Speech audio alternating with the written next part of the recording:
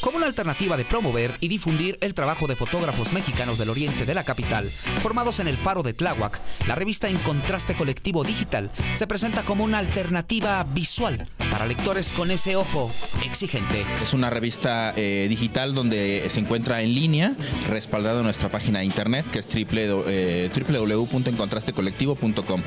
Ahí se encuentra no solamente este número, sino nuestros primeros dos números experimentales y con este estamos dando ya lo que es formalmente la bienvenida a este producto para nosotros.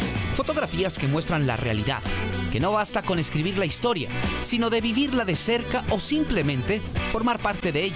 Esta foto que tiene usted en pantalla se titula Silencio, el sentido en el que podemos estar inmersos en nuestras abstracciones y nuestro mundo interior, como lo plasma el autor Juan José Ochoa. Nosotros hablamos de que no solamente eh, fotografiamos historias, sino también vivimos las historias, ¿no?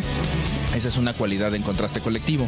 Y obviamente eh, en la revista puedes encontrar portafolios de los chicos que participan en el colectivo, pero también aunamos trabajo de fotógrafos nacionales con una, una carrera ya consolidada. A esta presentación se sumaron expertos de la noticia, quienes recomiendan en contraste digital, aunque cabe señalar que sí de la noticia, pero no expertos en la materia. ¿O sí? Cheque usted.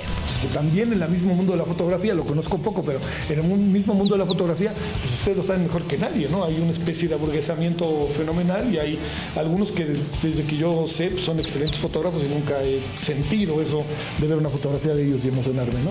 Ya lo sabe, échele un vistazo a En Contraste Colectivo Digital, una forma de ver y sentir lo que capta el lente de fotógrafos mexicanos. Recuerda que una imagen, sin duda, dice más que mil palabras. Omar Patiño, almohadazo.